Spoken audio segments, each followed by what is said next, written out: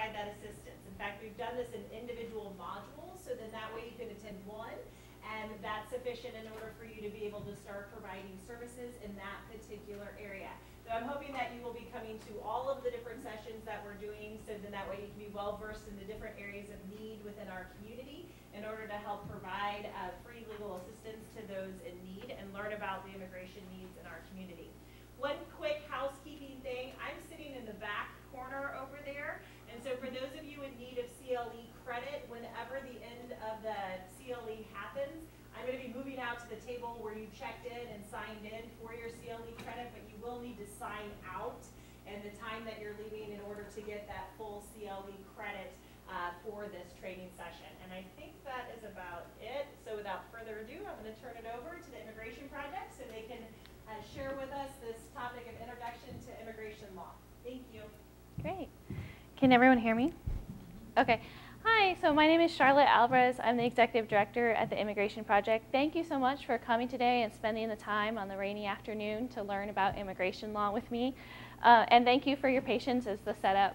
I am in the Bloomington office, so we got a little delay today by all the intense rain out there.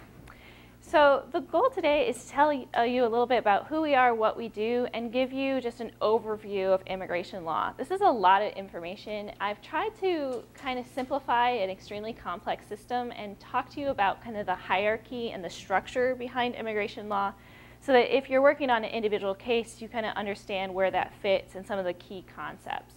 So this might be a little overwhelming. If you want to volunteer with us or take on a pro bono case, then you don't have to understand and completely get all of what we're talking about today in order to be of assistance.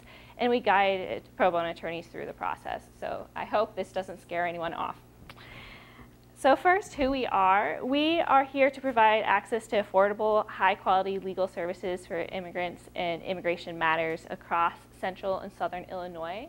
We cover 86 counties with three attorneys.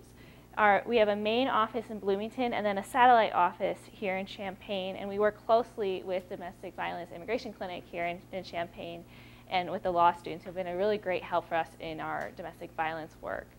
And so we have a large circuit area and we routinely go to clinics and we conduct consultations in Kankakee, Champaign, Peoria, Springfield, all, even all the way down to Carbondale. So today we're going to talk a little bit over the immigration family-based process in general, paths to U.S. citizenship, uh, removal proceedings, just a really brief uh, snapshot of what's happening in removal proceedings and how the landscape is shifting due to the changes in executive policies. So who's involved in the immigration work on the government level? Who are you interacting with? Most immigration matters are within the Department of Homeland Security, and the Department of Homeland Security has two main um, departments that deal with immigration issues, and they have rules on when they can talk to each other. And generally, when I'm talking to clients, I explain the bad immigration and the good immigration, right? So we have USCIS, United States Citizenship and Immigration Services. Most times, if you're trying to get a benefit, then you're going to USCIS. So they do citizenship applications, they help people get green cards. If you're doing a VAWA or U visa petitions, those are with USCIS. And uh, DACA, getting work permits, most applications are housed with USCIS. ICE, Immigrations and Customs Enforcement, is often known as La Migra, and they are the enforcement side of immigration, right? So they are looking for people who are violating immigration laws and putting them in removal proceedings. And then they act as kind of the prosecuting attorneys in immigration court in trying to convince the immigration judge that someone should be deportable, deported from the United States. And Customs and Border Patrol controls the ports of entry. So along the southern border, they actually have their own TV show now. Anyone seen the Customs and Border Patrol TV show? So they have a TV show. Uh, and they control the ports of entry at the land and at sea and in airports. So anytime you've left the country and had to go through an immigration check, then usually Customs and Border Patrol has those agents, right? The Department of Justice is involved with the immigration court system. So anyone who's put in removal proceedings and goes to immigration court, that is actually an administrative court that's run by the Executive Office of Immigration Review within the Department of Justice. If someone is appealing a decision in immigration court, before it goes to the federal court system, it goes through an administrative appeals process and goes to the Board of Immigration Appeals. So for removal cases, there's an immigration judge initial decision, gets appealed to the BIA, and then from there it, it feeds into the federal court system. And then we have the Department of State.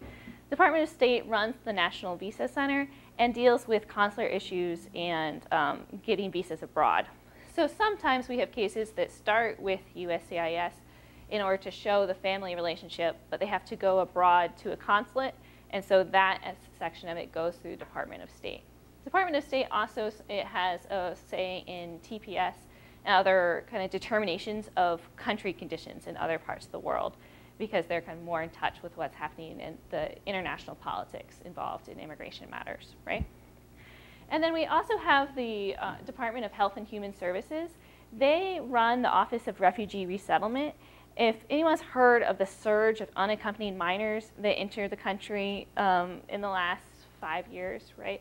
then those cases, they didn't really know where to put those unaccompanied minors. So even though they don't have the, the technical classification of refugees, then um, placing those minors in uh, shelters and then resettling them and relocating them with family members all happens through the Office of Refugee Resettlement. So if you're dealing with a case with unaccompanied minors, if they've been in put in removal proceedings, they often have a file with the Office of Refugee Resettlement. So the law underlying immigration, really the core of it is the Immigration and Nationality Act. The Immigration Nationality Act was created in 1952. And then anytime they want to change immigration law, they just kind of amend and change and overlay and take out sections and add sections. So it refers to itself a lot in really confusing ways, but it's all kind of housed in the Immigration and Nationality Act. Um, and it's also in the Code of Federal Regulations. So if we refer to a section of the INA, that's the Immigration Nationality Act, it's all codified in 8 CFR 1101 on over. We also have federal court decisions. So um, they, of course, we have most binding, anything from the Supreme Court is the most binding, and then we have local circuit court decisions and district court decisions. Because it's all federal law, it goes through the federal court systems. And then we can also look at what's happening in other circuits and other district courts if we're trying to push the law in our circuit, right? So the federal courts interpret the law. And then there's administrative policy. The Board of Immigration Appeals, when they take on appeals, they can deny or approve um, appeals without any written decision. And then they often have written decisions that either are binding or non-binding. So the non-binding ones have some precedential weight, but they don't legally have to follow them, whereas the binding ones should uh, follow them. And Board of Immigration Appeals, it, those cases aren't kind of nationally, they're decided uh, for the entire country, right? Whereas anything decided in the circuit courts are more regional. And then we have executive orders written by the president. We have a foreign affairs manual. We have USCIS as their own po policy manuals, some of which can be found online. And then there's policy guidance and memos that are kind of interpreting different provisions of the Immigration and Nationality Act. And then it, the Immigration Nationality Act often refers to state family law or the law in place in the jurisdiction where an act took place. So for example, it doesn't define marriage, but it says a marriage is valid for immigration purposes if it was valid where it was enacted and uh, found, found to be valid there. Same thing for adoption. It doesn't define adoption or create adoption procedures. It just says someone has to be legally adopted. It, where that, that adoption took place, that has to be legally valid. This is true for special immigrant juvenile status cases, for example. Um, the child has to be abused, abandoned, or neglected by one or both of their parents. And the, those definitions of abuse, abandonment, or neglect are the state or the jurisdiction wherever that conduct happened. So other sources, if you're looking to figure out what all of this means and interpret the INA, then there's us at the Immigration Project. If you have a pro bono case with us, you should be uh, then you should be talking to us first, and we can provide guidance and some some knowledge on what the, the law is in that specific case. There's also Kurzban's Immigration Law Sourcebook, which is kind of the Bible of immigration advocacy. It has uh, an interpretation. It's the, kind of the first place we look to figure out what does the INA mean. And then there's the American Immigration Lawyers Association. AILA has a membership for attorneys and then also for students. So anyone who's interested in practicing immigration law, uh, AILA has a lot of great resources for them. And they have annual conferences, they have guidance and memos, especially with the changes in law, then they're on top of what does that mean and that they're a good source for what's happening with executive orders and things like that. And then there's ASISTA and Ian and um, Clinic. They all kind of help um, guide attorneys and other advocates it, through what's happening in immigration. Okay, so let's talk about the types of immigration status someone could have. At the top of the list is kind of being a US citizen, right? If you're a citizen, then you're done interacting with the immigration process. You can't apply for any other status that's beyond US citizenship. It's kind of the end of the line for immigration issues. A lot of us in the United States are born US citizens, so we don't go through any of the other procedures because we've already gotten to kind of the end goal, right? Um, and so you can have dual citizenship. So sometimes, for example, it depends on the country. So for example, Mexico has dual citizenship. Someone can be a citizen of both the United States and Mexico and hold two passports and have two citizenships. We have it, whether you can have dual citizenship depends on the rules in the United States and the rules in that country. So they have to link up and, and allow for that dual citizenship status. There's lawful permanent residence. So if you hear about someone having a green card or um, permanent residency or an LPR, then those are lawful permanent residents. The LPRs are able to live in the United States permanently, right? So they are permanent residents until they uh, abandon their status, affirmatively, affirmatively renounce their status, or is taken away by an immigration judge. Other than that, they're permanently LPRs for life. The card expires, um, it, it, expires every 10 years, and they should uh, need to file an application to renew it to get a new card so that it updates their photo and biometric information, but the status doesn't. They're just permanent residents for life. And actually, in the past, they had uh, cards that had no expiration dates, so you might see people who became permanent residents and their card is from 20 years ago and just never has an expiration date on it. Permanent residents have some restrictions. So they're not allowed to vote, right? They can't register to vote or vote in the United States, and they can't claim to be a United States citizenship, uh, United States citizen. And they can travel outside the United States and come back, but they're not allowed to take any trips that are more than six months long without uh, permission first. Because if their, their trip is over six months, six months or more, then they might have been considered, considered to have abandoned their status. They're not permanently residing in the US if they're spending a significant amount of time abroad. Some permanent residents, if they need to travel for more than six months, then they can file some paperwork with USCIS to get that permission. It's basically telling the government, I'm leaving for this length of time, but I do not intend to abandon, and yes, I'm coming back, and get that permission to return. And they're eligible for some public benefits and Social Security, but there's restrictions on those benefits. So sometimes people are becoming citizens because they either want to have, a, one, they just want to become citizens, or they, they need to become citizens in order to help them with their Social Security, especially retirement benefits, or they want to take longer trips or not have those travel restrictions, right? Uh, there's visa holders. There's an alphabet soup of visa categories. It starts at A and goes all the way through V of different types of visas. So this is kind of, these are people who are tourists. They have a B2 visa if they are a tourist. There's a whole bunch of employment type visas. There's an investor visa for anyone who's, uh, who's investing at least a million dollars in the United States can get a visa just based on that investment.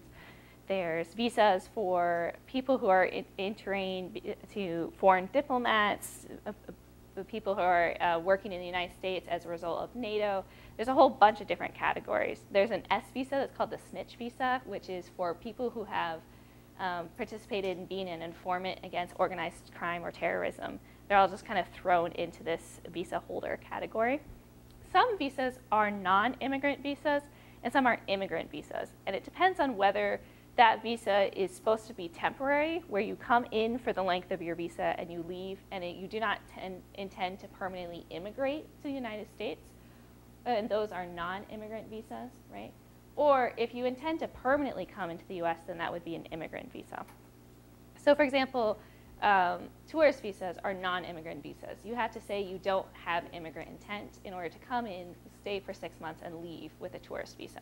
Whereas some of the work visas, you can come in on that work visa and then eventually become a permanent resident and then a citizen. And then there's a whole bunch of kind of fuzzy temporary statuses that were created in response to specific need of specific groups of people. These people often have permission to stay in the United States, but they don't have permission to travel. And they're protected from deportation, but they don't have a path to permanent residency and then citizenship.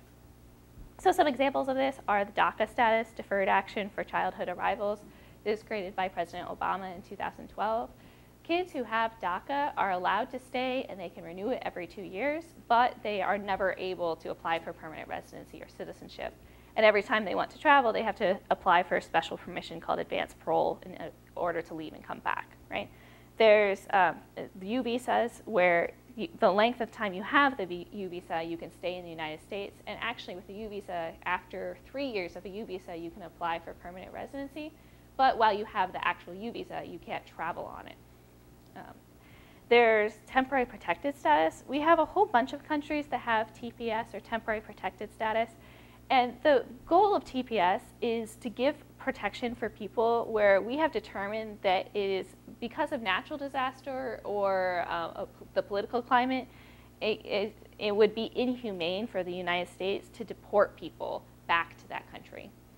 So for example, Honduras is a TPS designated country because of a hurricane that happened there in 1998.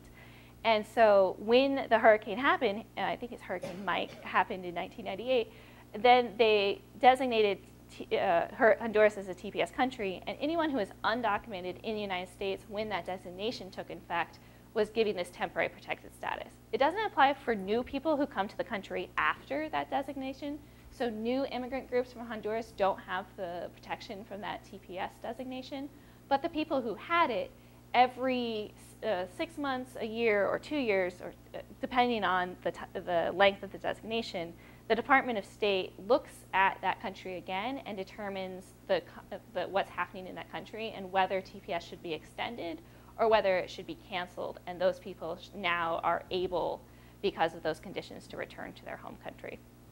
So Honduras just keeps getting extended, right? The people from 1998 got TPS, and then we see the same faces every, I think for Honduras, it's usually every year and a half and they come and they fill out another paperwork and it gets extended for another year, a year and a half. Some, for example, Liberia became a TPS country because of the Ebola outbreak. It was a TPS country for, because of the Ebola outbreak, and now that that has been resolved and cleared up and it's no longer a crisis, then the Department of State has said, well, it doesn't need that TPS designation anymore? Haiti is a TPS country, things like that. There's humanitarian parole for severe cases. If someone is in the United States and has significant medical issues, then sometimes you can bring in their family members because that person needs that extra care. But it's really rare and it's hard to get. Um, but there is a category for humanitarian parole. And then there's some people who have some sort of pending status and they have protection from deportation until that case is resolved. Um, this might be, for example, asylum. Someone who is applying for asylum, it can take two to three years before they are they have their individual hearing where the judge or the USCIS officer determines if they're eligible for asylum. But while that case is pending, then they have work authorization and authorization to remain um, after a certain number of days. Right? And then there's people who have no lawful status at all, who are what we would consider to be undocumented. We don't use the term illegal because it's not legally accurate. One, there's a whole political function to the term illegal. There's a, a whole connotation of whether a human being can be illegal, right, as a concept. But as a kind of from the lawyer side of it, as a term of art, it doesn't make any sense. So to be in the United States without legal status or without an immigration status that authorizes you to remain is not a crime. There is no criminal consequence for just being in the United States without legal status, right? There is a crime of illegal reentry or illegal entry to the United States that is a federal offense. And illegal reentry has a potential maximum sentence of up to 20 years in a federal penitentiary. So if someone has uh, been in the United States, entered without status, left, and then entered again without any authorization, and they're caught at the border, we're seeing an increased number of prosecutions of cases for illegal reentry. But about 40% of the 11 million undocumented individuals in the United States entered with a visa and either overstayed or violated that visa in some way. So entering, they could have entered with a valid visa. We see this a lot with, for example, students.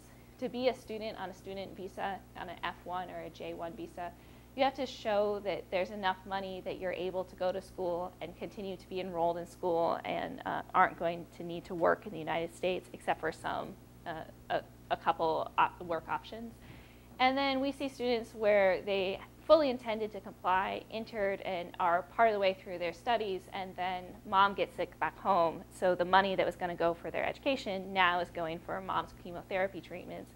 They don't enroll for a semester and now they're out of status right? Because they have to be enrolled in order to maintain their student visa. So that person never violated any uh, criminal law.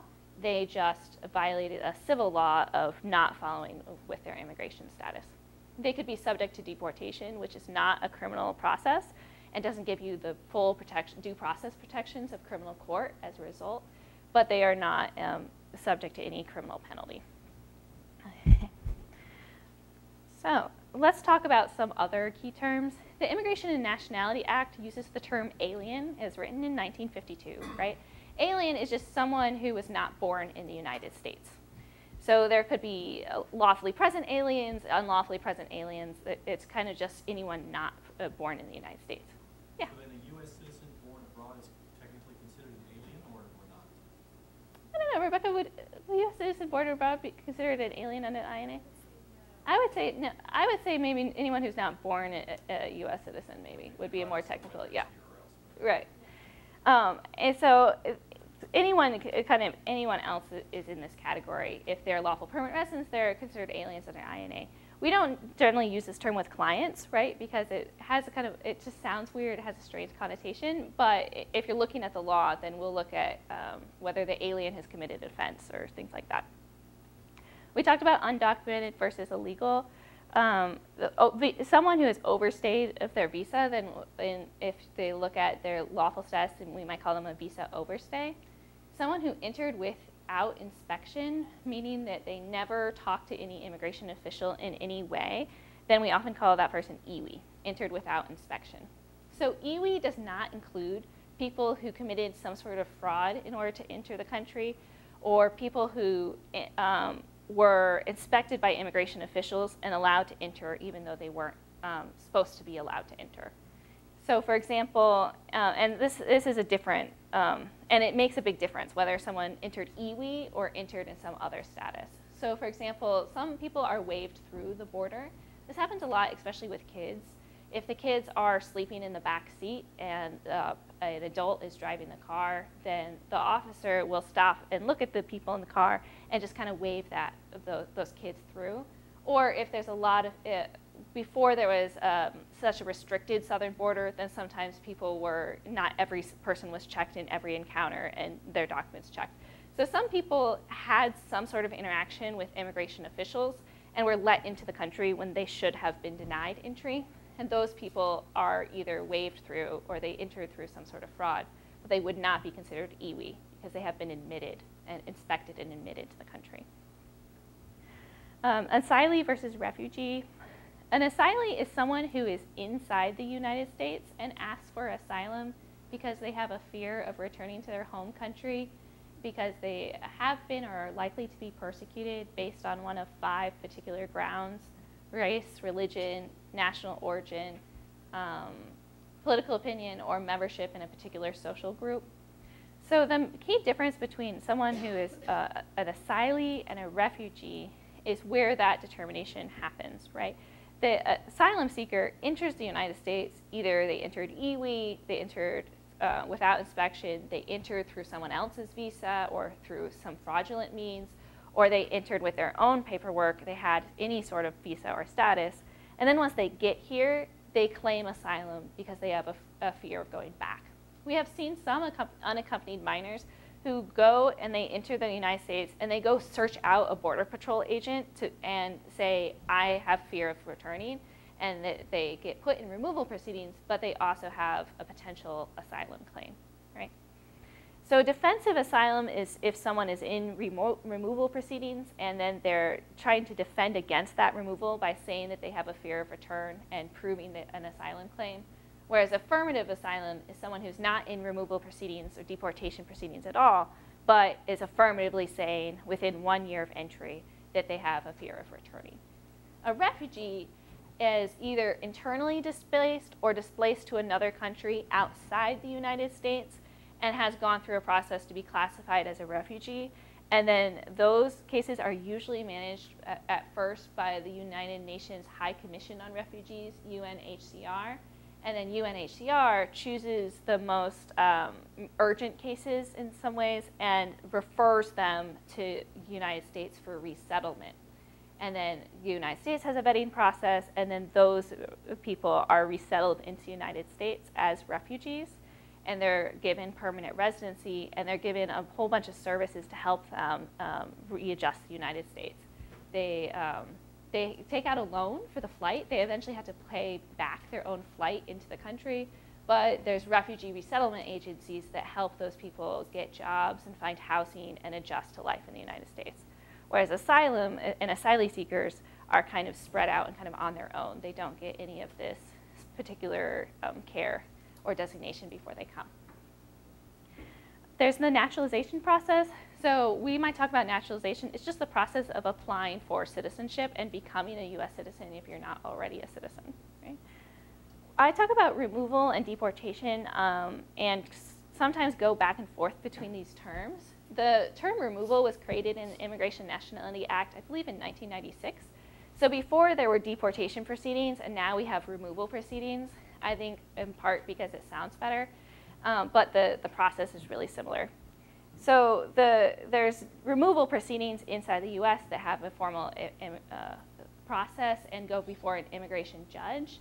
There's expedited removal, which is a faster process that uh, for some cases who under the law are eligible for expedited removal, they don't go in front of a judge, they just go straight through a removal proceeding within, the, within ICE and we'll talk a little bit more about deportation. But uh, if I talk about removal, what I'm talking about is deportation uh, from the country. Right? So we talk about EADs. So there's a whole bunch of different statuses that allow you uh, authorization to work. If you're a U.S. citizen, you don't have a separate work authorization document, right? I was born in the United States, and I don't have a piece of paper that says I'm authorized to work. I just prove I'm a U.S. citizen, and therefore everyone knows that U.S. citizens are authorized to work. Same thing for permanent residents. They don't have a separate document. You just, if you prove you're a permanent resident, then you know that person's authorized to work. And then all the other types of status, they usually have an employment authorization document or an EAD. So for example, people who have DACA status as deferred action for childhood arrivals have an EAD card. People who have TPS have an EAD. People who are in a whole bunch of those deferred action categories have EADs. Deferred action is just the status of um, a lot of those temporary statuses are part of deferred action where um, the government has decided that they're not going to go forward on a deportation case or removal, but they don't have a full other status yet. They're either in transition or they're permanently in this limbo of authorized, usually means authorized to work and protection from deportation. And it might be part of another status. Okay. And then we'll talk about the difference between being inadmissible and deportable. So if someone is inadmissible, if they've never been admitted to the United States, and then we're looking at whether that person should be legally uh, allowed into the United States. So this happens for visa holders. In order to receive the visa, you have to determine if that person is admissible. If they're inadmissible, then you, they can't get the visa. Uh, in order to enter the country, similar uh, evaluation happens by Customs and Border Patrol uh, if they haven't been admitted before.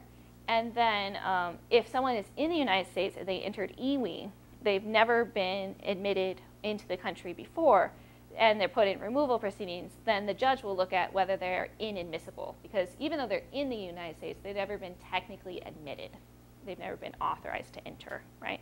Deportable is for categories of people who have already been admitted into the country and now they're looking at whether that person should be allowed to stay or be deported. Usually you're looking at deportability grounds for lawful permanent residents. So permanent residents are allowed to be in the United States and have status. They've already been admitted uh, into that status of being a permanent resident, but there's certain things that they could do that would make that person deportable, right? So inadmissibility is in the Immigration Nationality Act in INA 212A. And there's a huge number of grounds, and this is where the cross-referencing really starts. But it's kind of interesting to look at, and if you ever want to read the list, then there's a whole bunch of different ways people can be inadmissible. So uh, this applies to people who are uh, applying for admission at a port of entry, like they have a visa and they're looking to enter with that visa, right? Uh, they are applying for the visa in the beginning, any type of visa. If they are applying for adjustment of status, because becoming a permanent, the process to become a permanent resident is called adjustment of status, and then in that process they have to be legally admitted into permanent residency. Or if they're in removal proceeding and, they never were admitted before. And then uh, deportability is in 237A, and is anyone who has already done that admission, right? So how do you become a permanent resident, right? A lot of people who are undocumented or in a, another type of status, if they're talking about I want to permanently stay in the United States, then the, the, their goal is to become a lawful permanent resident. Once you're a permanent resident, you're on that path to citizenship and you have a permanent status, right? So there's a whole bunch of general categories that are used for permanent residency. This red section here um, is family-based. So approximately 65% of permanent residents obtain that residency through a family-based application. This next little chunk in tan here is employment-based petitions. Certain types of employment visas can lead to permanent residency, but some of them never get there. You just have to get a type of employment visa that can eventually lead to one of these uh, permanent residency petitions, right? This next chunk, 12% are refugees and asylees. And then we have the diversity lottery program as this little 4.6% sliver here. The diversity visa is really interesting for Illinois especially. So this is really designed to counteract kind of traditional migration flows to the United States. Because this family-based category predominates, it really favors people who already have connections to the United States, right? So it, it favors kind of pre-existing flows of immigration because you need a family member who's already made it in in order to make it in yourself, right? The diversity visa counteracts that by giving 10,000 visas a year to people uh, from countries that are not traditional sources of immigration. And so people enter the diversity visa lottery. So they enter the lottery, they kind of um, fill out an application to get a ticket, right? And then once a year they hold the lottery and they notify people if they've won a ticket. And if they win the diversity lottery, then they are eligible to apply for admission for themselves, their spouse, and their minor children under 21 years old. And then those people have to go through the process of determining if they're inadmissible or admissible, right? So they could be barred even though they won the lottery if they have anything that makes them inadmissible. But generally, they are able to go forward. They have an interview at the consulate, and then they enter with their diversity visa, and as soon as they enter the country, they become lawful permanent residents. So in Illinois, we have a lot of Congolese who are from the Democratic Republic of Congo who have won the diversity visa. Um, so I've practiced law in in Boston and Alabama before coming here, and I had never met anyone who uh, won the diversity visa lottery. It's like meeting people who won the lottery, and then they're all apparently here in Illinois. So if you meet people who are Congolese, some of them came in through other types of status who are refugees or asylees, but a lot of them came through this diversity visa program. And then we have some minor categories, uh, usually for humanitarian relief, and we'll talk, we have other um, kind of segments that talk more detail about the U visa for victims of crime, special immigrant juvenile status for kids who have been abused or abandoned or neglected, or people who are in removal proceedings and are able to cancel that removal and get permanent residency. But that's kind of the tiny sliver. Yeah. Are there any are there any people who are classified as refugees who are not also immigrants? For example, they would be destined to be settled somewhere else, or is everybody who's a refugee is always therefore an immigrant? Often people talk about refugees separately from immigration or um, kind of don't consider them immigrants because we talk about immigration more as a voluntary choice to leave, whereas refugees might have been forced from their home. But it, they're all covered under the Immigration and Nationality Act and, it, and kind of our immigration law in general.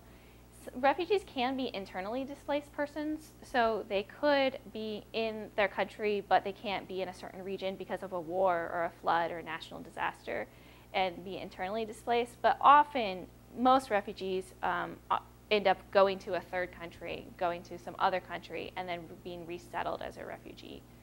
But any refugee who's present in the US would be Yeah, expecting to be a, a- an immigrant. Right. Any refugee who's here in the United States, then they w- they were born somewhere else, and then they, they came here fleeing a situation in their home country. They wouldn't be brought here and then sent on, the US is. Oh, somewhere else. Is never the third, is never the third country for some other know, it's not not in historically because of just where we're situated in migration trends. We don't have any, for example, refugee camps or holding procedures, and most places uh, people are coming here. Um, they're they've waited for years to get to the United States, and then they settle here in the United States.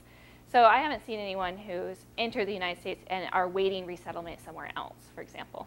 Um, But theoretically, if, I mean, if some war happened tomorrow that allowed, or that required such a thing, it's possible the US government would take some refugees and hold them for a while before putting them Right. It would be legally possible to do.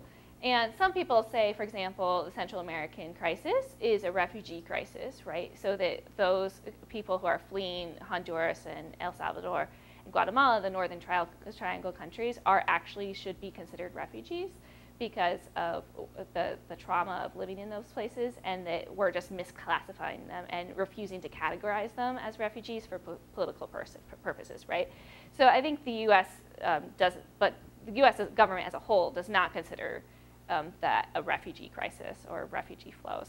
So there's some kind of arguing about the definition of people, but I, yeah, in, historically we haven't um, been a transit country for refugees. If somebody's accepted as a refugee and, and then allowed to settle here and become a long-term permanent resident a citizen, Mhm. if the reason why they became a refugee suddenly or ultimately disappears, that, that, you know, the civil war or whatever it was, that goes away, it doesn't mean that they therefore have to get out if they've made it through the whole process?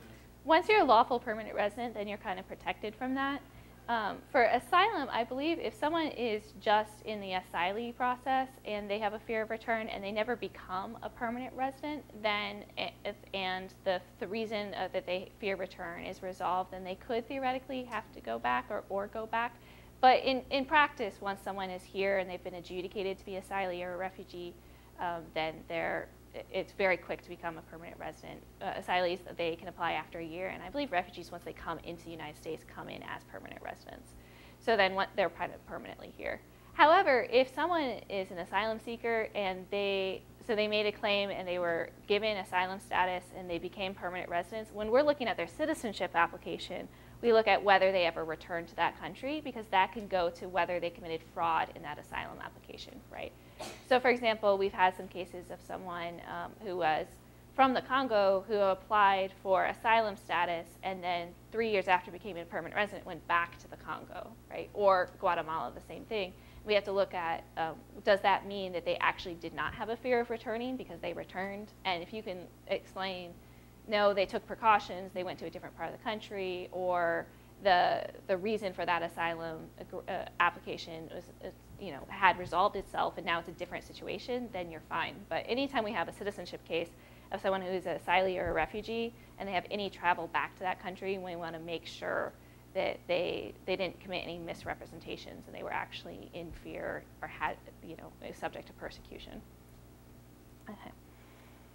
So we're going to focus in on the family-based petition process because, and we'll have other sessions that talk about some of these humanitarian relief categories. But generally, employment-based petitions, the, so, if someone has an employment-based option, the employer is the one who's hiring the attorney and paying the fees. So if you're looking at a career in immigration law, kind of employment-based petitions are where the money is, and a lot of private practice deals with employment-based. And then nonprofit organizations are often uh, doing these family-based petitions, dealing with asylees, refugees, and dealing with this humanitarian concerns. There's some private attorneys, obviously, who do the rest of it as well, but we just set aside kind of the people with money and then focus on, you know, because we have the low-income individuals who are doing these individual family and humanitarian petitions. So anytime you have a family petition, there's kind of three ma- major questions that guide the analysis. One, is there a qualifying family relationship that allows you to do a petition at all, right? Two, is there a visa available now? Is it immediately available? Or do you have to wait? And if you have to wait, how long is that wait, right?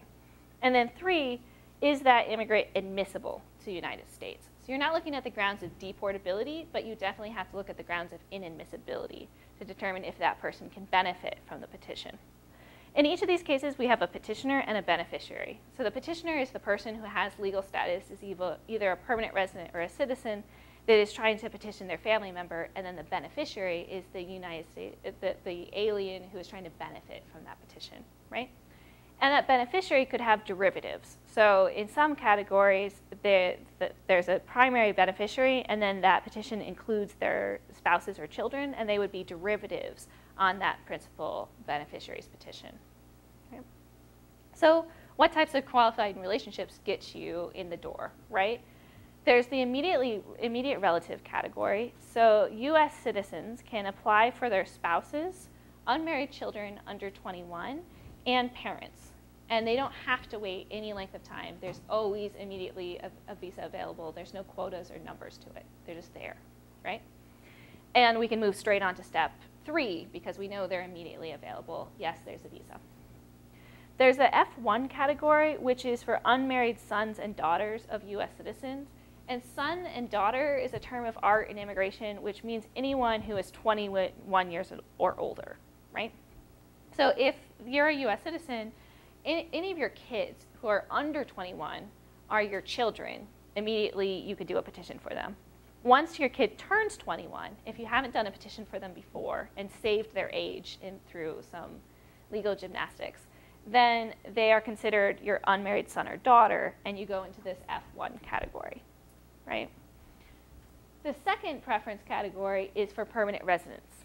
So their spouses and children are in this F2A category, and their unmarried sons or daughter who, who are over 21 but still unmarried are in this F2B category. Third preference category are married sons and daughters of US citizens of any age. Once you're married, you're kind of considered your own family unit, right? This is built in the 50s and 60s, so it's on the idea that um, your family unit includes you, your spouse, and your children, but once they're married, they're kind of part of another family unit. So we're going to allow U.S. citizens to apply for their married children, married sons or daughters, but they're going to be in a different category with a different number of visas available. Right? And then finally, the fourth preference category is for brothers and sisters of United States citizenship, citizens. This category, if the U.S. citizen petitioner is applying for their, their brother, and that includes, as a derivative, the brother's spouse and brother's minor children under 21 who are not married.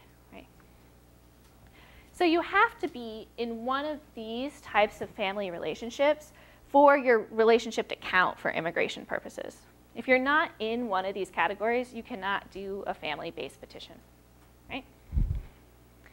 So who's not in the categories? So if you're a permanent resident, you can't apply for your brother or sister. You can't apply for your married children. And if you have a pending case for your child, as soon as they get married, they're automatically kicked out of the categories. They can be married and divorced. They just have to be unmarried when you file a petition and then for the length of that petition, right? And then it doesn't include um, other non-nuclear family relationships. So grandchildren, grandparents, nieces and nephews, you can get in your nieces and nephews, but you have to do it through that sibling category, right? So permanent residents can never apply for their nieces or nephews citizens can, but you have to apply for the parent of those children first. So we've seen this as a problem sometimes, particularly for African clients who have taken in um, family members. Uh, let's say I'm a US citizen and my brother has died and I start caring for my brother's children, right, my niece and my nephew.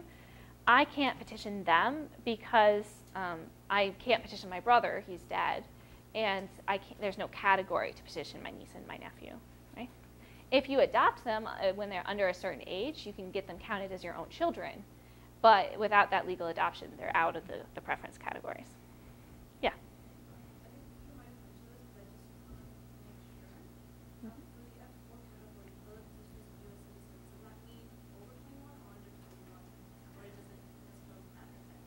It means under 21.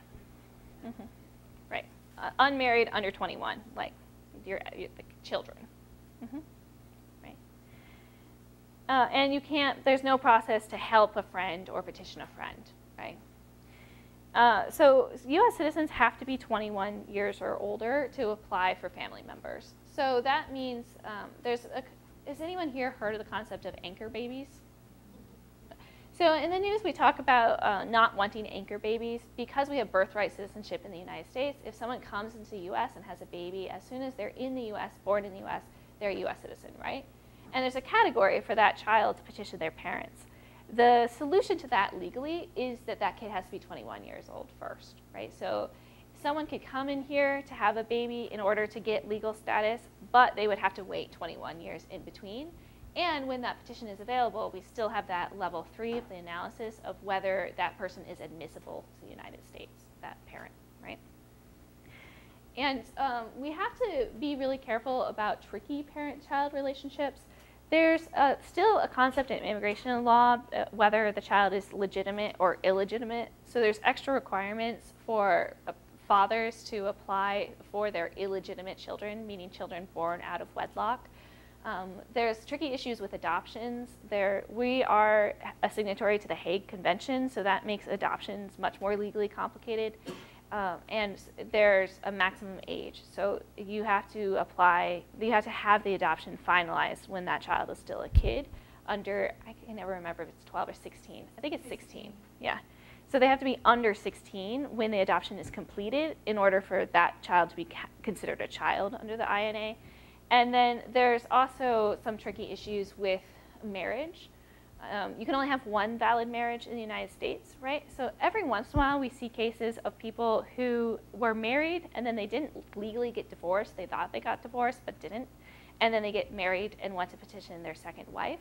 But if they're still legally married to someone else, then they can't do that petition. So we always have to look at whether they have a valid legal marriage and kind of be aware of the trickier relationships. You can also uh, petition for stepchildren and step uh, and step parents. You just have to have a, a parent-child relationship, and you have to show that the the parents got married before the child was, uh, um, I think, under eight, before the child turned 18. I think. Okay. So the second step, we say, okay, yes, we have a valid relationship, and we're in the F2A category, right? We know that um, there there is the ability to do the petition. The second step is, do you have to wait? So if you are in one of those immediate relative categories, you can ignore all this stuff. You just move on to, is the person admissible? But if you're in any of those F1, 2, two, uh, or 3, 4 categories, you have to deal with the visa bulletin. So the priority date of an application is the date that the initial family petition is filed. And then that gives you kind of your place in line for looking at the visa bulletin. So you have to look at what category you're in, what country you're from, and then these are issued every month to tell you which, um, which petitions they're currently processing, which priority dates are now current, right? So if we pick a case, if you're looking at um, unmarried sons and daughters, 21 years or older of permanent residents, this F2B category, right? I'm a permanent resident and I want to apply for my daughter who's not married, who's 22 years old, right? And I'm from Mexico. You look at this uh, chart, you look at the most recent chart, this is a couple months old. Right now, in this category, what do we say, F2B we're looking at? The, from Mexico, they're currently processing cases from September 1995. So if I file a new petition now, there's a, we can file the petition, the I-130, but we'll get a priority date of 2017, and we have to wait from 1995 up till 2017 people to get their visas before my client is eligible to get her visa, right? Some of these categories um, do not move one month every month because it depends on how many people applied back in those years and to determine how backlogged those categories are. So the the, um, there's a certain number of visas a, a, year, and then after they've met that yearly quota of visas, then they can't issue any new visas. They have to wait until the next fiscal year restarts in October to process the next section of visas, right? Um, and so this will move sometimes one month every month, and sometimes it will shoot forward, and sometimes it will retrogress. So it can go backwards as well. And you can look it up on the Department of State website, and they, they have two lists. They have the final action date, which is the list of when your priority date needs to be in order to actually get the visa, which, and then they have an earlier list of when you can start filing the paperwork. So they're trying to get people to get all their paperwork in order so that once your visa is actually available, you can like jump on it, you're ready, you can get it as soon as possible. Make sense? So some of these categories, for example, Mexico's F4 category, which is US citizen brothers and sisters, based on the number of people in line, some visa calculators put that at about 150 years plus in order to get the visa, right? So we as attorneys can advise people that they're eligible to apply. We can process that paperwork, but we also have to advise them that the likelihood that they and their petitioner will be alive by the time that that visa is available is extremely slim, right? Unless there's a reform, there's more visas available, or they change the rules, right? Based on the current law we have. So the third step, let's say we're not waiting in one of these categories. Let's say um, we are now eligible to get the visa. We're an immediate relative, or we've gotten through those categories. Then we look at at the time the visa is available, is the person who's going to benefit, the beneficiary, admissible, admissible to the United States? So these are some of the grounds of inadmissibility found in 212A. There's health-related grounds. This used to include HIV and AIDS and no longer does. Um, is someone who has active tuberculosis, who has um, a mental health disorder that might make them a, a, a, danger to others or public safety, then those uh, are in the health category. So when we're doing uh, cases, for example, if someone is an alcoholic and they have multiple DUIs, then they might be talk, the doctor might talk to them about that, and they might be found inadmissible because they are a danger to others because of their alcoholism? Most people, this means that they just have to do a health screening check uh, with a civil surgeon and it passes through fine. There's ways you can violate immigration law that make you inadmissible. Sometimes there's bars and sometimes waivers, but some things just make you inadmissible for life. So for example, if you are currently present in the United States and you entered without authorization, then you are inadmissible unless you leave the United States and you fix that EWI entry, right? Um, if you did not attend your removal proceedings, you get a five-year bar. You can't become a permanent resident or get a visa during that time of your bar. You have to serve out that time, right? If you've been deported from the U.S. before, it could be five or 10 years. If you're deported from a, because of an aggravated felony, then that could be popped up to even more time. Um, if you're here for a, a, under uh, a period of unlawful presence, you can get a three or 10 year bar, which we'll talk about in more detail. There's a ground for smuggling. So smuggling is assisting, aiding, helping in any way anyone to come into the United States without authorization. Smuggling includes your friends, your kids, your husband, your wife, your parents, anybody, right? And helping them includes any manner of assistance. So that means uh, we've seen people charged with inadmissibility for smuggling who paid a coyote, paid someone to help their family members come into the United States, right? Because they, they helped facilitate that person to enter. Um, it could be that they enter the country with a child and they held that child or carry that child across the border or through the desert, right?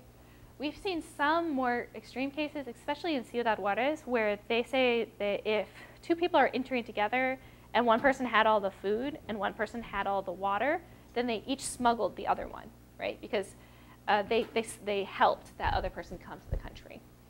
So, so there's some kind of, and there's some arguments against it, but there's, we've seen a lot of kind of pushback and, and an increased focus on the smuggling definition. It, before 1990, it had to be for gain, meaning you had to get some money out of smuggling someone, right? But after 1990, it could be anything. You could get no money for doing it and it still counts as smuggling. There's a waiver available if the person you smuggled was your own children or um, your spouse, as long as you were actually married to that spouse before the smuggling occurred. Anyone else, then there's not a waiver available. There's also the ground for of inadmissibility, inadmissibility for having a false claim to U.S. citizenship. This uh, started in 1996, so it has to be after the effective date and the change in the law. But if they claimed to be a United States citizen, uh, then they could, and it was a knowing claim, right? That they were old enough to know what they were doing, they knew that they weren't a U.S. citizen, they said they were a U.S. citizen, then they could be inadmissible, and there's no waiver available. We see this a lot for employment. So if someone has worked without authorization in the United States and they said they were a U.S. citizen in order to get that job, just saying it to the employer isn't enough, but it's a false claim to U.S. citizenship in order to obtain a federal or state benefit, a government benefit. So um, once they get the employment, they file an I-9 form. Anyone filled out one of those I-9 forms, right, where you present your identification, you check what your legal status is, and attest that you are either a U.S. citizen or permanent resident or otherwise authorized to work. They've said they're U.S. citizen and checked that box on that form and signed it under the pains and penalties of perjury, they might be inadmissible for a false claim to citizenship. Um, voting, for example, if they've registered to vote, that might be a false claim to citizenship. There's also criminal grounds. So um, if someone has committed a crime involving moral turpitude, they're inadmissible. There's certain drug offenses. There's other offenses that um, make someone inadmissible. There's fraud and misrepresentation. There's a waiver available based on what it is, but if they've ever come into the country with someone else's documents or otherwise committed fraud, that can be an issue. Um, there's the public charge ground. So they have to get a sponsor. Uh, there's this isn't, uh, the public charge ground doesn't apply for victims of domestic violence under VAWA, but most general family petitions, you have to prove that that immigrant who's going to benefit from the petition isn't going to come in and immediately start getting public benefits and be a public charge or drain to the U.S. economy and government system, right? So that means that the, usually the sponsor is uh, the petitioner is also the sponsor on this affidavit of support where they show all of their income and show that they can add that person to their household and still be over a certain uh, minimum of the federal poverty level. And if the peti petitioner can't do it, then they have to go get someone else who can co-sponsor that person and they'll show their income and prove that that person isn't going to get public benefits right away. Instead, they're going to look at their sponsor or their co-sponsor for support. Um, this usually has not been enforced, so a lot of people sign these sponsorship forms, and then if that person later, later gets public benefits while they're still permanent resident and before they've um, gotten a certain number of qualifying quarters of work, then the government could go after the sponsor legally because it's a legally binding contract, this affidavit of support. So they could go after the sponsor for any money that the government has given to the immigrant. Um, in the past, we haven't seen cases of this, but one of the potential changes, uh, President Trump has suggested there's uh, kind of going after this in more detail and having more uh, cases and civil suits against sponsors if people get public benefits. So we'll see how this plays out. If you hear it in the news, that's kind of the ground they're basing that on is this public charge. And then there's some terrorism and mis miscellaneous grounds. Okay. The unlawful presence bars are really interesting and they affect the most number of people if they are in the United States. So if someone's not in the United States and ne has never been in the US, we don't care about these grounds, right? But most people, if they're in the United States without legal status and they want a family member to petition them, then they have to deal with the fact they've been unlawfully present in the United States. So if someone has been in the US for more than 180 uh, days, so more than six months, but less than a year without legal status, and they're over the age of 18, and this started after uh, the effective date in uh, April 1st, 1997, then they, they, uh, then they leave the country during that time, they get a three-year bar of ever coming back with any legal status, right? If someone is here for more than a year as an adult after 1997, and they leave the country, then they get a 10-year bar to coming back with status. So this plays with the ground of inadmissibility we just saw, which is if you are entered without authorization and are present in the US, then you can't um, adjust or become a permanent resident. So what this means is most people, in order to do a petition if they're here without status, they have to leave the United States in order to benefit from that petition and then they trigger one of these bars, usually the 10-year bar, because they've usually been here for more than a year, right? There's a waiver available. So there's some pretty technical definitions of unlawful presence. If you have to calculate someone's unlawful presence, you can talk to us if it's one of our cases. If you're doing it on your own, look at the field manual because certain things toll your unlawful presence and don't count as part of the time. So, for example, if someone has DACA, the amount of time they have DACA doesn't count as them being unlawfully present in the country. Um, but you, so you got you got to count it. But there's a waiver available for these bars, the three and 10 year bar, if you can prove extreme hardship to a qualifying relative, and that qualifying relative has to be your spouse or your parent, right? So hardship to U.S. citizen children doesn't count as part of this uh, waiver. It only counts because any hardship that your children experience will hurt your spouse because he loves your children, right? Or worse, will hurt your parents because they love their grandchildren. The, the, the qualifying relative has to be your spouse or parent, right? So how does this work? Most people, if they entered with inspection, right, then they do a, uh, if they entered without inspection, like they weren't given a visa when they entered, then they do the family petition. They either wait in the lines or they're able to go forward immediately.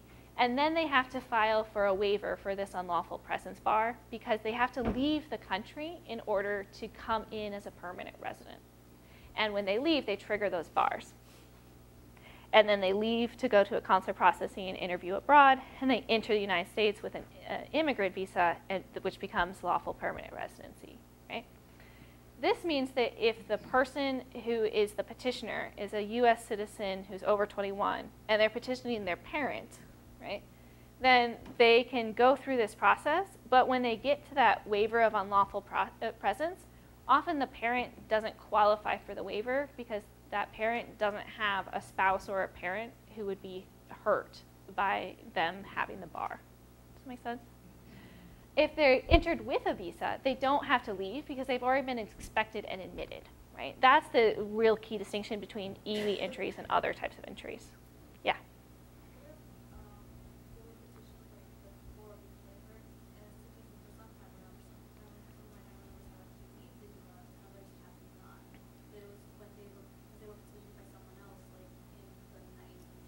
Yeah. So that's that third kind of uh, option. It, the only way to get out of having to leave the country is either you're fall in category two, where you entered with a visa, you've already been inspected, admitted, and you can do the whole process in the US, or you had someone who filed a petition before, for you before April 30th, 2001, and it was approvable when it was filed. So there's this kind of grandfathering provision because before this effective date in 2001, you didn't have to leave, even if someone was here and never entered with uh, inspection, then they could just go through the adjustment status process. But they determined, the Congress determined that we need um, kind of harsher penalties, right? This is the idea of going back and doing it the right way. That if someone didn't get permission to enter, they have to go outside the country to get that permission. So if someone had a petition filed for them on or before April 30th, 2001, then they can use a new petition to get a visa. They can just use that old petition to avoid having to leave the country. Yeah. Okay. So that's kind of an overview of ways to become a permanent resident. So then, how do you become a citizen, right? Well, a lot of people become permanent residents first, and then after they've been a permanent resident for three years, if they got that permanent residency based on marriage, or five years for the rest of the world, then they can apply on their own to become a U.S. citizen through the naturalization process. They have to be over 18 and meet other requirements, but they can go through that naturalization. Most people in the United States were born uh, U.S. citizens, right? We have birthright citizenship. As long as you're born on U.S. U.S. soil, so inside the interior of the United States, and then some military bases or U.S. soil. So, for example, everyone in Puerto Rico, right, is born a U.S. citizen because Puerto Rico is a territory of the United States? Um, you can be born abroad to a U.S. citizen parent. So even if I wasn't born in the U.S., if my mom was a U.S. citizen and had met certain requirements of residency in the U.S. before I was born, then when I'm born, I can I am automatically a U.S citizen, and you can register that as a consular birth abroad. You can go to the embassy, or I, I don't remember if it's the embassy or the consulate, but you go and you get a registration saying this person is a U.S. citizen when they're born. And if you figure that out later, you can get a certificate of citizenship saying, yes, this person was born a United States citizen. The citizenship rules changed significantly throughout our history. So there's charts that can look at whether someone acquired or derived citizenship, whether they got citizenship when they were born or they got it later based on their parents or how they got their citizenship. The rules especially changed for U.S. citizens born abroad because um, the, the rules shifted on whether both of your, citizen, your parents had to be citizens before you're born or just one of them. And if you have only one of them, whether and how long that citizen parent had to be in the US before you're born in order to count, right? Because the idea is we don't want people who were born to US citizen parents uh, being born in Guatemala, living their entire life in Guatemala, never coming to the US, and then having a child who was born a US citizen and then living their whole life in Guatemala and being a citizen, right? So they have this kind of decaying provision that the, the US citizen has to live in the US for a certain amount of time to kind of be able to pass it down to their children. And then the category that gets confusing for a lot of immigrants, I think, is this third option. If someone is a lawful permanent resident and they're a minor and they're living in the legal and physical custody of a lawful permanent resident parent, and that parent becomes a citizen through that naturalization process, then that minor automatically becomes a citizen without even knowing it, right? They just kind of, through operation of law, are a citizen. They can, after that, file for a certificate of citizenship and file this N600 form, prove that this happened and get a certificate only they know about it.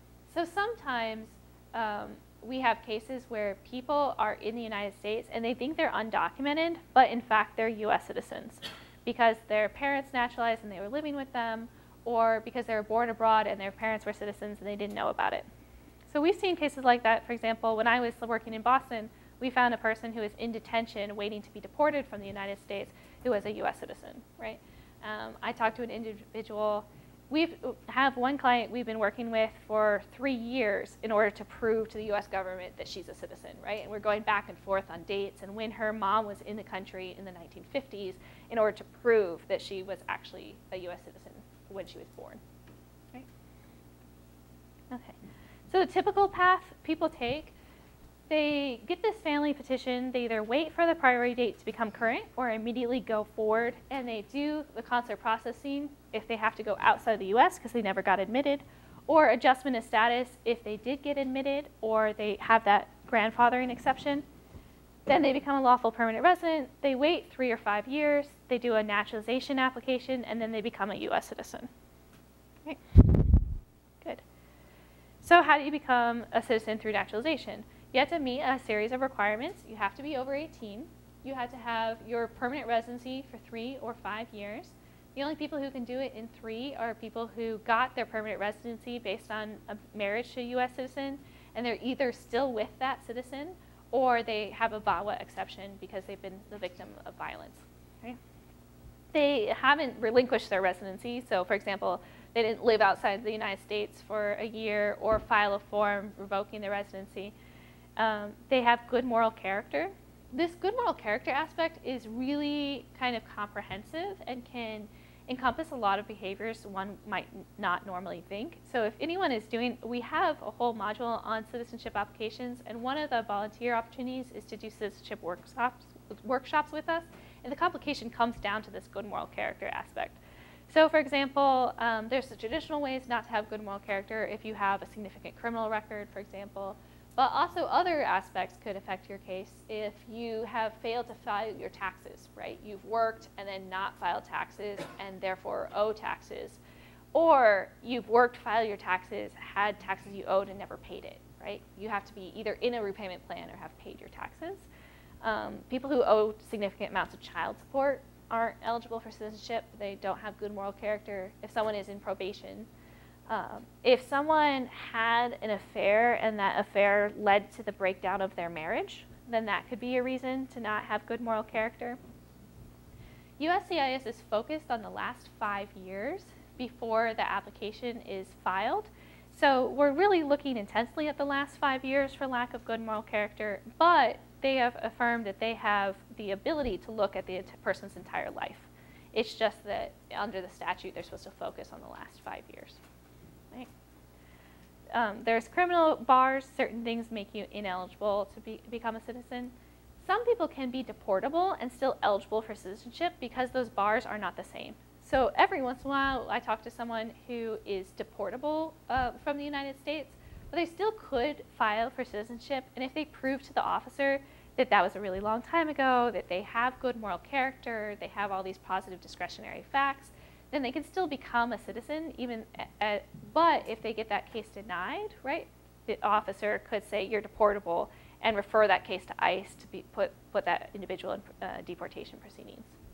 And in fact, in some cases, ICE could even appear at the interview to detain someone if they believe that person is deportable. They have to, ha to pass an English test. Not everyone has to do the English test. So if they have been a permanent resident, there's um, if they are 55 years old and been a permanent resident for over 20 years, then they can uh, do a waiver. Or if they're 50, no, 55, 15. So 55 years of age and 15 years as a permanent resident, or 50 years of age and 20 years as a permanent resident. Then they don't have to do the English test. Or if they have a mental uh, or physical impairment that impedes their ability to learn or speak, then they could get a medical waiver for a disability exception. Same thing for civics. There is a medical waiver, a disability exception, but there's no age waiver for civics. Everyone has to take the civics test unless you can prove medically you're unable to learn the civics test questions. So the, in the citizenship cases, well, there's an application form, you fill it out, and then go to an interview where the officer is looking at do you have good moral character, looking at your whole history, and then administering an English test, administering a civics test. Yeah. Good. So any questions on that before we go on to the next one? Yeah. What if someone had like limited learning skills? Like, I mean, they're not like dyslexic or anything like that, but they can't read. Then would they, would there be an exception to the, to a written test at all? Yeah, so the English test has three components. There is, you have to read one sentence, you have to write one sentence, and the rest is oral, speaking with the officer, being able to go through the application. And the civics test is also oral. They, it's not a written test. They, the officer asks you the question, and you have to respond to the question. So having a poor education or lack of education does not uh, negate your requirements and your, your need to pass these tests. However, if you prove that you have a learning disability or you are unable to learn because of your any sort of mental state and you get a doctor to sign off on that, then you could get the disability exception. So for example, this comes up a lot when we have um, age is also not an exception, right? So there's not just a straight, if you're over this age, then you, you can not do the, the test. So sometimes um, we'll get a, someone who's unable to learn English because they're like 75 years old, right? They're just, at this point in their life, they're not going to learn English. But unless they've been a permanent resident for 15 years, at least, then they're not eligible for an exception. So you have to tell a 75-year-old woman that she either has to learn English or wait 10 more years with her permanent residency, right? Which is not likely to, to, to help her, right? Um, but you can get, you have to, you have to prove one of these exceptions. So for example, we have a client who um, is deaf mute and um, so therefore, and is from Southeast Asia. So she never learned English, but she also never really learned her native language either. And no one really invested in her education because she just kind of hung out with her, her mom and just, so she really understands very, very simple concepts and does not really get the idea of like laws, right? So then we have a waiver based on disability because um, a, that, that she was never given that opportunity to learn and develop, uh, and also because uh, she can't like speak or communicate well, right? So you got to kind of fit it in that medical waiver. Yeah. Any other questions? Yeah. When you earlier went through the, uh, the chart that showed how, how, how much the backlog is, Yeah. is there, s- is there still some legal benefit to sort of being in the queue even if you know you're, you're never, ever gonna reach the end of the queue? There's two potential benefits. One is if there's a change in the law. So, for example, um, there was that legal shift that that created a uh, a benefit if someone had a petition before April 30th, 2001 So some of those people are are still pending from before 2001 and they are still waiting in the line. But if they marry a US citizen or have an immediate relative category pop up, they can use that prior petition and the fact that they were in the line earlier to grandfather in. So some people are filing affirmative cases now, hoping that there's a change in the law and that they'll be on the right side of that change and just have it pending. Um, there was in the last debates over comprehensive immigration reform some discussion on eliminating that F4 U.S. citizen brother and sister category completely and creating a huge number of visas in order to process through and get rid of the backlog, but just like shutting down the line, processing those people, and then getting rid of it going forward. So then there was a, a flurry of activity to put yourself in the line, right, to, in order to, be, to benefit from that legal change. So there's some people who do that. Um, in order to avoid deportation, there's not a significant benefit because in those, the family preference categories, you don't get a visa while you're waiting for a visa to be available. You don't get a work permit or any other authorization to stay. But in some cases, it can help discretionarily if you're talking to an ICE agent and trying to get someone um, to, to not start a deportation case at all, saying, look, they have a pending petition, it just has three more years left but this person's not a priority for deportation, they're eventually going to become a permanent resident. So it doesn't um, benefit everyone in every cir circumstance, but sometimes it helps people in order to avoid removal. But you don't get a work authorization or any other permission. Some people in some of those categories uh, from a while back, there was um, the Life Act that created a process for people who are waiting in one of those lines to get a visa to come and enter and be with their relatives while they're, they're waiting for that petition to be available. But those are kind of older cases. Yeah, good. So let's talk a little bit about deportations and removal. So who is deportable from the United States?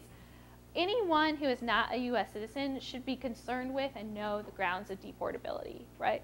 Lawful permanent residents are only deportable if they violate one of those grounds of deportability. They can't be deported just because the president has made a shift in policy, right? There's a lot of concern right now of people getting traffic tickets or DUIs or simple offenses. They're worried about being deportable, but those aren't grounds of deportability, and therefore the president, uh, uh you know, the, the policy can shift, but those people are not subject to deportation. So if someone with a DUI who's a, a, permanent resident gets put in removal proceedings, their defense to that removal is, I'm not deportable. They win their case, they go back to becoming a permanent, being a permanent resident, right? Yeah. So suppose they don't know that they have that defense and they actually get kicked out of the country. Do they get to come back once they realize they shouldn't have been kicked out or they lost their shot? They've likely lost their shot. Um, if they had ineffective assistance of counsel for some reason, if they had an attorney and the attorney advised them incorrectly, then sometimes you can get those cases reopened. But uh, if, for example, they signed a voluntary departure saying, I voluntarily depart or I voluntarily give up my permanent residency, and they did that based on their own decision and not through a bad advice of an attorney, then they're, they've likely deported themselves. Yeah. Um, so any, and then anyone who's here on a visa is also subject to the grounds of deportability. Um, the, US, the consular officers have recently said that, um, that if someone is they, they have started revoking people's visas in some instances. For example, if someone has a DUI in the United States, and they said that they are now uh, a risk to the public, and therefore they're, they're revoking some visas. But in general, it, the people here um, with visas are subject to grounds of deportability. And anyone who is a permanent resident or in, um, uh, who is not a permanent resident, who is undocumented, right, is subject to either the grounds of deportability or inadmissibility, but they're all removable. If someone has no lawful status or authorization to remain, then they are uh, subject to de deportation or potential deportation, right? So who is in the process right now? As of February of this year, there were 540,000 pending cases in our deportation removal system, right? So that means the U.S. is actively trying to deport approximately half a, um, half a million people currently. They publish numbers each year. Um, the most recent years I could find, there's about 462,000 removals and returns conducted in FY 2015. This includes people who are kind of turned away at the border as well as deported, but the U.S. is deporting or removing more people from the United States um, kind of each year. It's just kind of been going up. I think there was a dip the last year of uh, President Obama's presidency, but it has been generally increasing. President Obama deported more people under his, his term than any other president in the history of the United States. So the process goes, for most people, is going through an immigration court system. It's an administrative proceeding, but it kind of mirrors the criminal court proceedings, right? There is a judge, an immigration judge who's an administrative law judge, and the prosecutor in the case is an ICE agent or an ICE attorney who is charged with presenting evidence on why that person is deportable. And then on the other side of that is the immigrant who's called the respondent.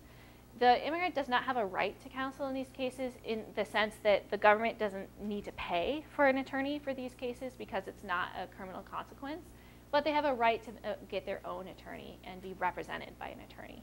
This also is true regardless of the age of the respondent.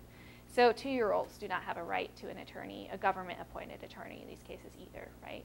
50-year-olds don't. It, it, they can get their own, but they don't need to be provided one by the government.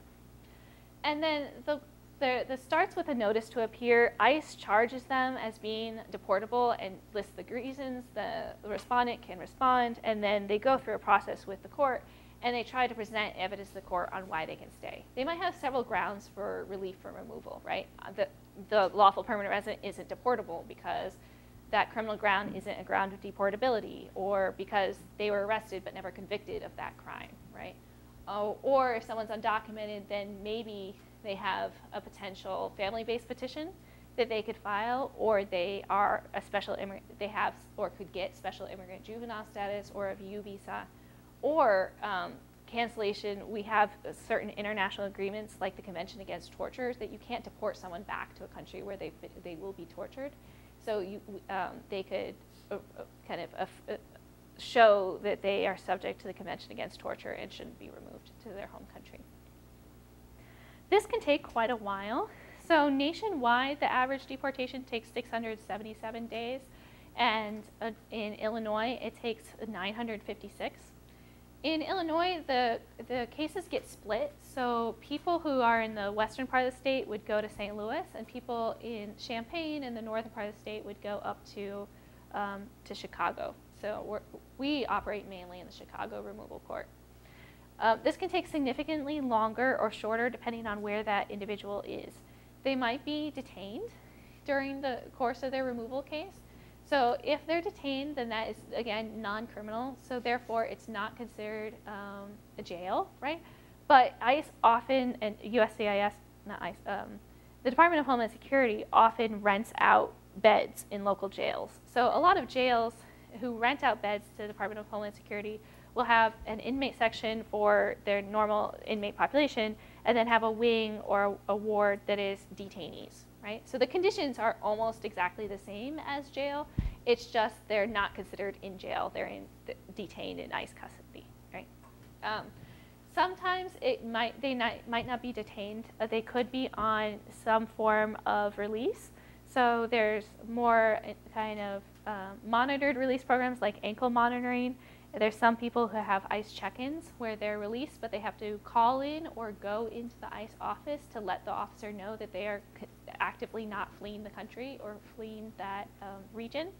And then there's some people who are just released on their own recognizance or released after paying a bond and they're out for the length of their case and they just have to go to their immigration court hearings. Unaccompanied minors often are detained and then put into shelters where they're not allowed to leave, but they're not called detention centers either, and then um, released into the care of a guardian. So they often were detained somewhere else and then released into the care of a guardian here, and as long as they continue to go to court, then they, they don't have any extra monitoring. So if someone is in detention, the government is paying a significant amount of money in order to keep them detained, so the detained docket moves a lot faster, right? Because they're trying to process those cases and not have that expense of having someone detained. And then the non-detained docket slows down significantly. So that average puts those two cases together. But we often have cases that take years and years and years to go through the immigration court process. And the, the courts are so backlogged that they're giving um, dates for hearings that are several years out. So we'll often get cases that are, have hearing dates in 2019 or 2020 even I've heard nationally some that are 2021 or tw- 2022 for their next hearing date in court. Um, and there's the process of expedited removal. So, under the Immigration Nationality Act, anyone who is in the United States who entered EWI and has been here for less than two years is subject to expedited removal. And anyone who has a prior removal order that um, they were ordered deported previously, then uh, or they have a couple other grounds, then they can be subject to expedited removal. This process, uh, the idea is the the idea is either they have no legal claims or they've uh, the judge has already looked at their case and decided they should be deported. Therefore, we don't need to see a judge again. We can just ICE can make that determination and uh, detain them and then deport them with, uh, very quickly, sometimes in the span of days, often in the span of weeks, through this expedited removal process. Uh, due process-wise, this presents some challenges, right? Because some of those people who've been here less than two years, who entered without inspection, they actually might have an asylum claim and have not known it or never talked to a, a, um, an immigration attorney before they might someone might have a prior removal order and maybe they got that order because they had ineffective assistance of counsel in their first case and didn't uh, properly present their claims and that order should be vacated and they should have a chance to have their claims processed or maybe something's changed right they've been subject to an expedited removal order but now they're eligible for a new benefit like a U visa because they've been a victim of a crime so this expedited removal process just shoves all that to the side and says ICE can determine who's deportable and they can do the, it quickly, which is an issue. So if someone has gotten an order of removal from a judge or gotten an expedited removal, that counts as an official deportation for immigration purposes. But if they are caught and returned at the border, sometimes they're not deported or ordered removed, they're just excluded from the country. So ICE, uh, CBP catches them and says, we're not going to take this case in front of an immigration judge. We're just going to say, uh, you know you're not uh, have you don't have any visa to get here. We know you don't have any visa to get here. We're just going to send you back, right? This often takes like a couple hours.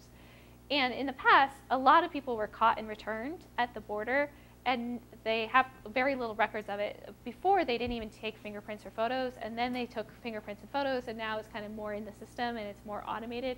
So sometimes it's really hard to determine exactly what happened at the border, and you have to do FOIA requests or look for what happened um, at the border. And if someone realizes they have no grounds stay, sometimes they'll sign a voluntary departure, which means that they pay their own plane ticket and their own passage out of the country, and the judge allows them to leave on voluntary departure. In exchange, they don't have a deportation uh, order against them. They haven't been deported, so they're not subject to the bars based on being deported previously. If someone signs up for a voluntary departure, promises to leave, and doesn't leave, then that is a separate uh, immigration violation that can cause problems if they ever try to uh, do a family petition or other benefit after that, right? So the general scheme looks similar, right? So we say, are they inadmissible or deportable? What category? How are they charged, right? We say, are they eligible for any waivers or any, or any other form of relief from the removal? And if not, if they are actually subject to the grounds of deportability, there's no way out of it, they're not subject to any other relief, then is there any other prosecutorial discretion relief available? Under previous administration, they had prosecutorial discretion memos. So certain people, you could talk to ICE and say, you know, yes, this person is de deportable, but they're not a priority for deportation. So let's not go through a multi-year legal process that costs a lot of money. Let's let this person go so that you can go focus on someone else who maybe has a criminal record or is a higher priority for deportation, right? We're not really sure how this prosecutorial discretion aspect will, will change in the future. So what can the president control? Um, a lot of what we talked about is codified in the Immigration Nationality Act and therefore not subject to executive control, right? But the executive control how the priorities are set and how the law is interpreted. So he has announced a series of executive orders that would shift the landscape for a lot of these cases, and a lot of it has to do with changing the priorities for removal. So he has suggested and created um, executive orders to increase the cooperation between local immigration enforcement and police officials. So the Secure Communities Program was actually created, I believe, under, I don't remember if it was Bush or Obama, but it was, it was the Secure Communities program was previously in effect, there's a lot of controversy surrounding it, whether it actually made communities more secure, and it was withdrawn, and now it is back in effect. With secure communities, the police are not acting as ICE agents directly, but when they encounter someone, if someone is arrested or put in a local jail or county jail, then their fingerprints are taken and that information is sent to immigration authorities along with the FBI and other federal databases. And then if ICE wants to hold that person and start a removal case against them, then ICE will request the local jail to hold that person with an ICE detainer.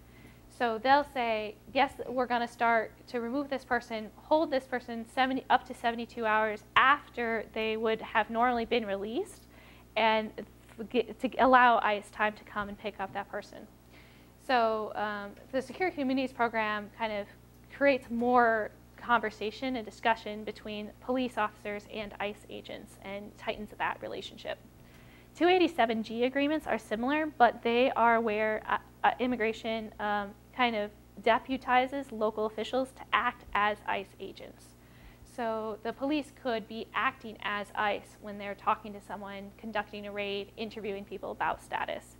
And that is only happening if the local law enforcement officers have an agreement uh, under this 287G program. In sanctuary cities or welcoming cities, then those communities have said, either through proclamation or local ordinance, that they will not participate in either Secure Communities 287G or similar programs.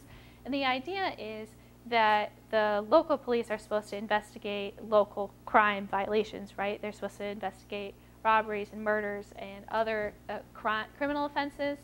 And since being in the United States without status is not a criminal offense, right, then that is an immigration federal civil violation, that there should be that separation of powers, which allows local communities to trust their police and go to them if they've been a victim of a crime and not think that they're working with ICE agents. So this really depends on the location. For example, in Urbana, they have a sanctuary or welcoming city policy that they have affirmatively stated that they won't be participating in agreements like this. And currently, these are optional agreements. The executive has talked about expanding deportation and changing deportation priorities. So the previous administration had a three to four tier system of deportation priorities with the harsher criminal offenses up towards the top, down to people who had no criminal record. And then this system kind of flattens out those deportation priorities and makes anyone kind of equal. So undocumented individuals under the new executive orders are a priority for deportation if they've been convicted of any offense or been charged with any offense or arrested for any offense or there's reasonable suspicion that they have committed any offense. So that really broadens out the people who are subject to uh, being a priority for removal, right? That means that um, if someone is investigated by ICE and they discover any false documents, then they can say that there, there's reasonable suspicion that that person has committed the offense of fraud, and therefore they're a priority for deportation, right? Um, we do not know exactly how this is going to play out in practice. We have seen people who have been arrested, right, who are now priorities for deportation, even if that charge is later dismissed or they are found innocent, they're still theoretically the same equal priority for deportation as someone who has been convicted and served out a sentence.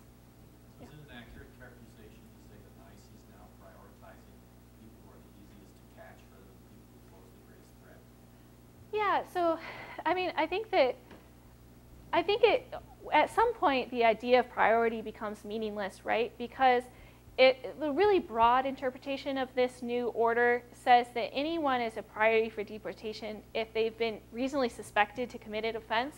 Remember, illegal reentry is an offense, right? Entering without authorization is an offense. So anyone who is here undocumented, there's a reasonable probability that they entered without inspection therefore they're an equal priority with someone who has committed murder, right? So I, it creates, it broadens out the priority so much that it almost becomes meaningless. So we've really seen that kind of difference that, and a lot of the fear from the community, right, is because if now if someone is arrested, they don't go through that whole process in criminal court and then they're only a priority if they've actually been found guilty or convicted just at the start of that case. There's the kind of, it changes the presumption, right? It changes presumption from presumption of innocence and we will, will consider them a danger at the end of that process to if we even think they've done something wrong, they must be dangerous and therefore put in, in removal proceedings. Yeah. Um, it also expands deportation priorities to people that they believe have committed fraud or otherwise take advantage of public benefits. And um, anyone who has been here under two years is now subject to that expedited removal process. We have previously used expedited removal.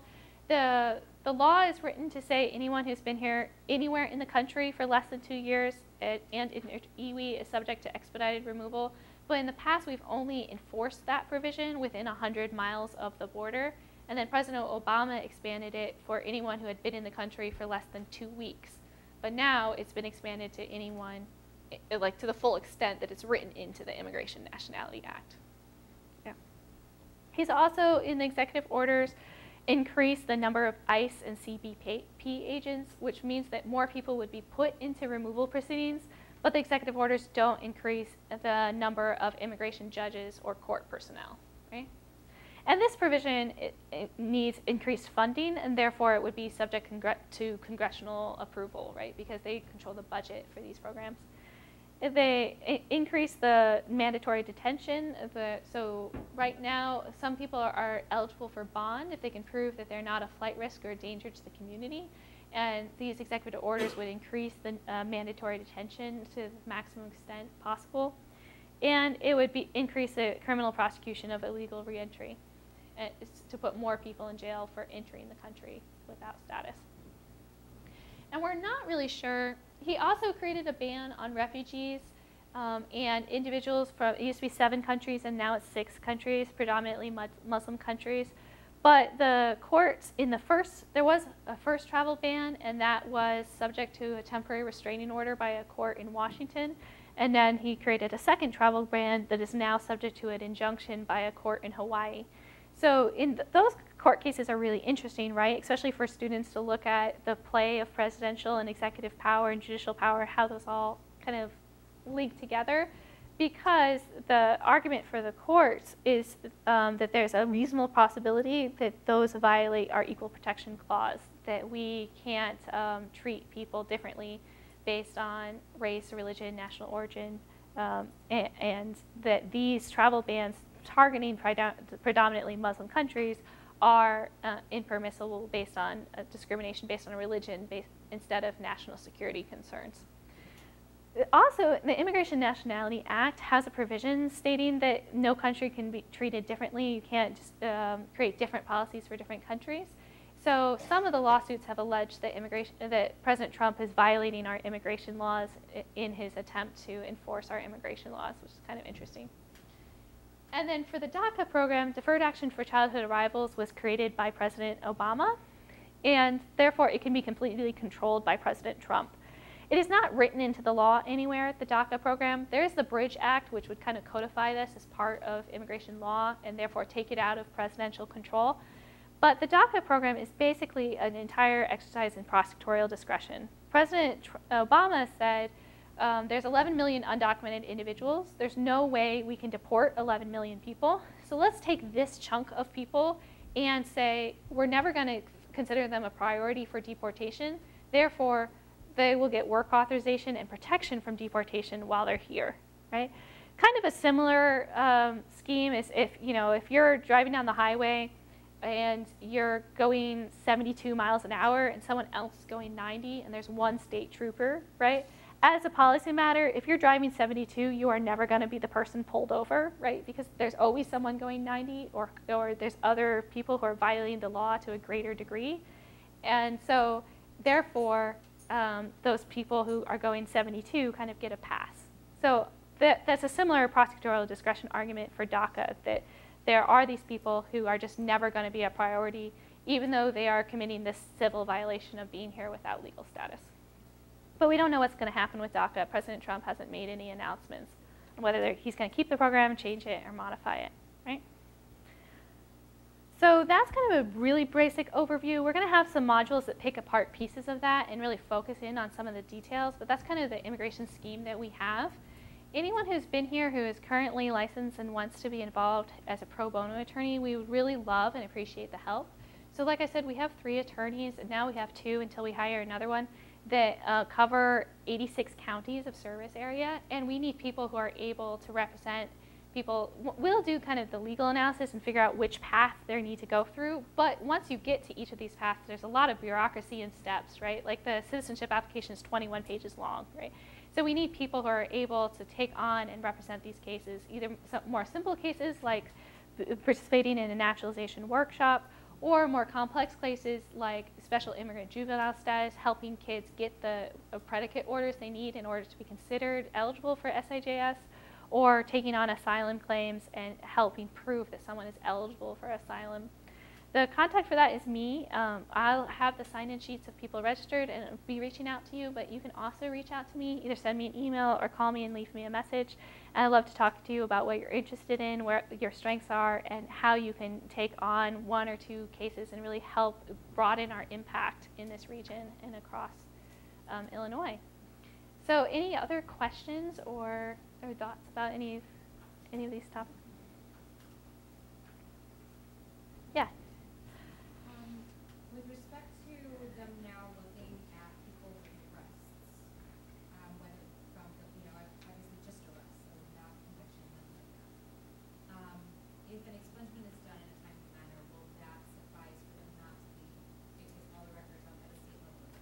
I realize that the FBI can still find them for arrests, but. Yeah, so expungements are really interesting. So for immigration, the definition of conviction is someone who has um, declared themselves culpable in some way, usually through a guilty plea or uh, an admission of facts. Plus, there's some restraint on their liberty. So they had a probation, or they had um, community service, or they had to pay a fine, or they had to uh, spend time in jail. If they have two of those two things together, then it's a conviction for immigration. If it gets expunged later, it's still a conviction for immigration. You can say that you haven't been convicted in every other way but for immigration. Same thing for juvenile offenses, still considered convictions for immigration. So if someone has expunged their record, then that doesn't uh, um, change their ability to change whether they're admissible or deportable because the expungement has no effect for immigration.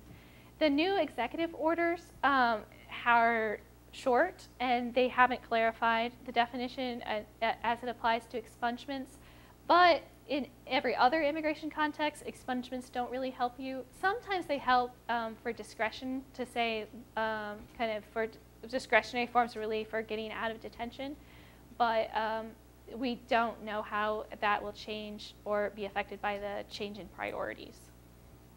I guess, for clarification purposes, you said that the new executive order would include people convicted, charged, arrested, or just suspected.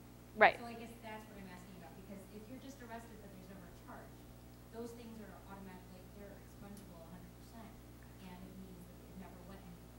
So we're not talking about anybody ever convicted, but if we're talking about people who are just arrested and are picked up, processed, but then never goes any further because it's determined that there's nowhere to go, then would an expungement process wipe it, wipe all of the records because there shouldn't be any further resolve the uh, issue? Yeah. So we haven't got any clarification of that on a national level, but expungements don't have an effect um, or help you in other immigration contexts. So I think most likely they, someone who has an arrest and it's been expunged will still be a priority, because if they have a conviction and it's expunged, then they're still deportable. You know, I think that the, the expungements will probably work similarly where they don't help you in immigration matters, but we don't have a, a good um, clarification on a national scale. Yeah. Any other questions? Good. I also, on the pro bono plug, so uh, we have more people than ever asking about becoming United States citizens. It spiked last year and then it's gone up this year as well. So we have all these people who want to become citizens either because they are worried about the changes on um, again, uh, the increased deportation of people and they're worried about being deportable in the future, or because they want to really get involved in the political process and register to vote. So we have so many people applying for citizenship and so few attorneys that we're turning people away every day for citizenship matters. We're trying to combat that by doing citizenship workshops. So if you're really interested and engaged in especially the citizenship piece of what we do, we would love to have pro bono counsel who are great at managing and taking on citizenship cases and help helping people become citizens and participate in, in forming these laws in the future, right? So please reach out to us and um, get involved, especially if we do a citizenship workshop here in the Champaign area, which we're planning to do in the near future. We'd love to have a cadre of volunteer attorneys who are able to provide that service to our community. Cool. And students are also helpful, even if you're not an attorney yet. Oh, yeah, yeah. We uh, so we, we love uh, law students who are able to volunteer and be in part of workshops and be in part uh, and engaged in our office. We also have summer interns, and we have um, uh, any student here. uh, We'd love to have you with the Domestic Violence Immigration Clinic, who's doing great work with in those U visas and uh, working with victims of crime and violence. Good, great. So thank you so much for coming today.